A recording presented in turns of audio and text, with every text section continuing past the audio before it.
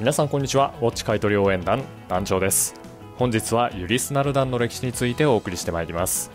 ブランドの誕生は1846年のスイスチュラ地方。ブランド名にもなっている時計師ユリスナル団によって創業されました。グッチやジラールペルゴと同じケリンググループに属し日本での PR をあまり行っていないことから知る人ぞ知るブランドになっています。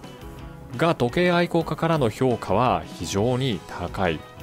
ブランドの格付けにおいてロレックス以上のものとして評価する人も多くいます。それもそのはずでユリスナルダンというブランド19世紀末には世界各国の軍隊及び海運会社にマリンクロノメーターを納入していた実績を持っているんです。マリンクロノメーターというのは時計師を語る上で非常に重要なものですからその功績に敬意を表しての格付け評価なんだと思います。20世紀後半からは本格的に腕時計作りも開始。腕時計メーカーとしては後発ですが独創的な機構とデザインで人気を博しています。ブランドの歴史をたどりつつユリスナルダンの魅力探っていきたいと思います。本日も最後までゆっくりとお楽しみください。それでは行ってみましょう。憧れの時計は遥かに遠く故に私たちはどこまでも。男の夢紳士の癒し。理想の時計を身につけた理想の自分に出会える場所。よろしければチャンネル登録そしてグッドボタン押していってください。やる気が。出ます。はいではまずは現在のコレクションから見ていきたいと思います。現在のラインナップは全部で5ラインですね。かつてのマリンクロノメーターのデザインを腕時計へと進化させた機関コレクションマリーン。トゥールビヨンなどコンプリケーションモデルも備えています。300m 防水を有する本格ダイバーズウォッチダイバーコレクション。スタンダードな 42mm 系のほか 44mm 系のスケルトンやクロノグラフも人気のスポーツモデル。2001年登場のハイエンドモデルフリーク。今でこそ当たり前に使われている対磁性シリコン脱進機その走りとなった革新的なモデル。オープンワークが美しいエグゼクティブコレクション。ブランドの技術を詰め込んだ最高級ライン。時々発売される限定モデルにも注目。そしてその名の通りクラシックなデザインのクラシココレクション。無駄のないシンプルな設計のラウンドウォッチ。といった感じでスポーツウォッチからクラシックなラウンドウォッチ。そしてアーティスティックな独自機構にスケルトンウォッチまで。非常に幅広く揃っています。共通しているのはどれも他に変わるものがない個性があるということ。それでいて非常に品のあるデザインであるということ。さてではこれらのコレクションどのように作られてきたのかブランドの成り立ちから見ていきたいと思います。ブランドの創業は1846年。スイスジュラ地方のルロックルという町で時計師ユリスナルダンによって創業されました。ジュラ地方というのはスイス時計産業の聖地とも言われる場所です。三大時計の一角オーデマピゲもジュラ地方ルブラッシュの生まれです。同じルロックル生まれのブランドにはティソがあります。その他ジャガールクルトやロンジンもジュラ地方の生まれです。ユリスの父も時計師として活躍しておりその時代はスイス時計産業が躍進していた時代です。時計師という仕事はまさに花形職業でした。父を見て育ったユリス少年も迷わず時計職人の道を選んだことでしょう。ユリスが時計作りを学び始めた時代はちょうどよく時代が味方したタイミング。フランスやドイツから時計作りの技術が渡ったスイスではジュラ地方のほかジュネーブでも時計作りが盛んになっていました。技術継承も積極的に行われておりユリスは父から受け継いだほか時の天才とも呼ばれたマリンクロノメーターの設計者や天文時計の専門家から高い技術を習得していきました。そして若干23歳にして時計工房を設立するに至ります。ユリスの時計作りの技術非常に高く創業初期から複雑機構を備えた懐中時計を製造する腕を持っておりその評判はすぐに海外へも広がっていきました。自身が学んだ環境からか天文学や船舶など正確な時間計測が不可欠な分野に向けての時計に重きを置いており特にマリンクロノメーターの製作には取りつかれたように熱中したそうです。マリンクロノメーターについては以前アップしたブレゲマリーンの魅力深掘り動画で説明していますのでそちらぜひご覧ください。概要欄にリンク貼っておきます。ここでは簡単におさらいしておきますね。マリンクロノメーターというのは船乗りが海上で自船の位置を確認するために必要な時計のこと。大航海時代の惨劇を受け海難事故を防ぐために必要とされてきたものでイギリス軍とフランス軍がいち早く導入した歴史があります。クォーツウォッチが登場するはるか以前ですね海の荒波に揺られながらも日差2.9秒以内という驚異的な高精度を誇っていたのがマリンクロノメーターという時計です。簡単に言うとめちゃくちゃ丈夫で正確かつ持ち運びが可能な時計ということですね。でご存知の通りスイスには海がありませんから18世紀末の開発競争に参加することはなかったんですがその技術しっかりと渡っていたんです。ユリスは高精度を求めた偉人たちの歩みと大航海時代の男たちにロマンを感じてマリンクロノメーターという時計に魅了されていたのかもしれませんね。かくしてユリスが制作したクロノメーターは1862年にはロンドン万博に出展。見事グランプリを獲得。同年ヌーシャルテル天文台のコンクールにおいても栄誉ある成績を収めるに至ります。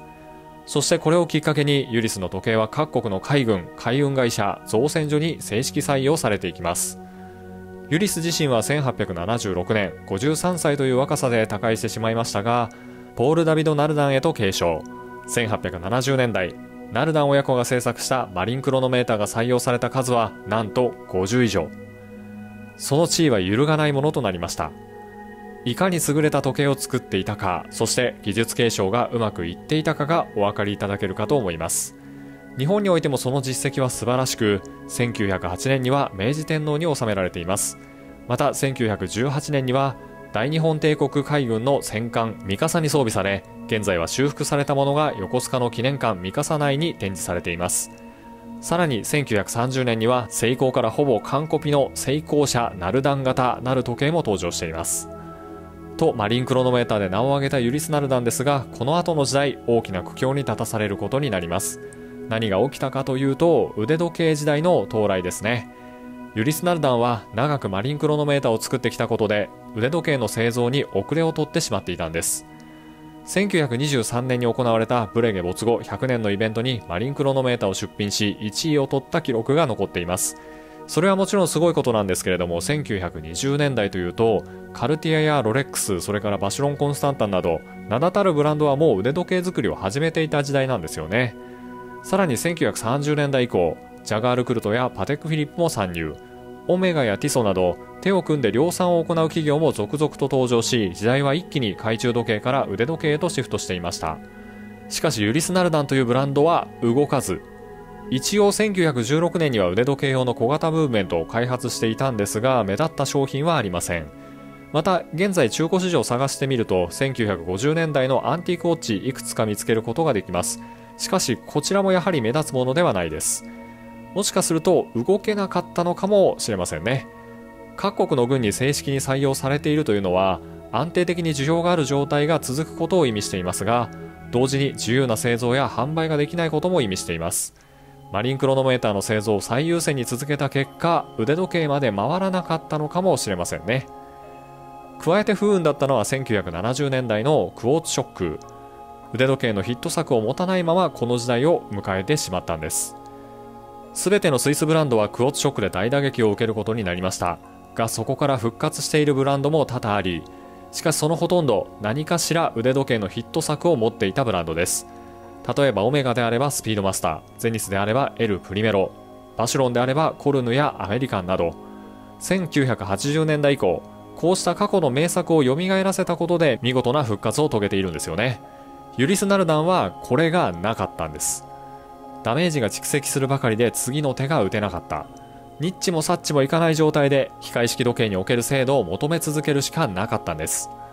やがて1975年ヌーシャルテル天文台コンクールでの受賞を最後に家族経営の時代に幕が下りることとなります。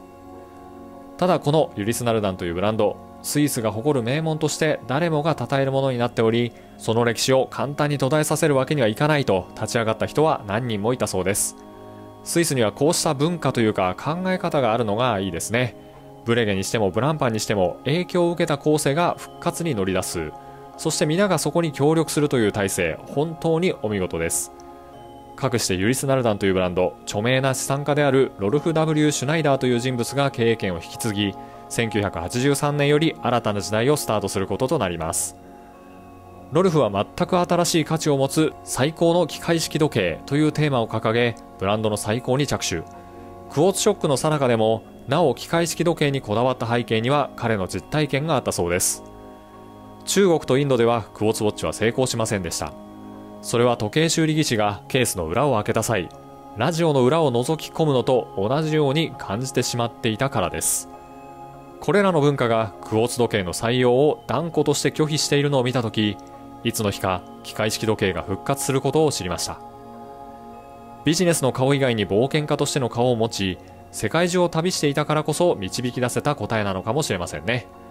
ロルフは様々な分野に興味を持っており知人の時計工房にもよく訪れていたそうです。とそんな折運命の出会いが。スイス・ルツェルンの時計師ヨルク・シュペーリングの工房を訪れた際ルードビヒ・エクスリン博士と出会います。彼は大学で物理学と古時計の研究を行う学者であり天文時計の設計も行えるという天才。趣味が高じてか見習い時計師としてその工房で働いていました。ロルフはルートビヒにブランド最高について語り協力を仰ぎここから天文時計3部作と呼ばれる驚異のコンプリケーションウォッチの開発が始まります。まず最初に発表されたのは1985年のアストロラビウム・ガリレオ・ガリレイというモデル。天体を模した文字盤に太陽の位置月の位置ムーンフェイズ日食と月食星の位置そしてトリプルカレンダーを搭載した超複雑機構。そして2作目として発表されたのが1988年プラネタリウム・コペルニクス。この機構も凄まじく太陽の周りを水星金星火星木星土星黄道12宮ディスクが回っているという。天体ごとに縮尺や回転速度が異なりますがそれを一つのムーブメント一つのフェイスで表示するというのはもう意味不明です。そしてラストは1992年発表のテルリウム・ヨハネス・ケプラー。北極中心に描かれた回転ディスクとムーンフェイズを搭載したモデル。ユリス・ナルダンは疾風の名門ドンツェ・カドランとも協力体制があり複雑機構とアートを融合させた作品に仕上がっています。1作目は後に世界一複雑な腕時計としてギネスブックに登録された作品です。1983年の事業継承からわずか数年でこれを作ってしまったという。ルートビヒ・エクスリン博士本物の天才です。そしてその天才が考えた設計を形にできてしまったユリス・ナルダンの時計職人たちの技術もすごい。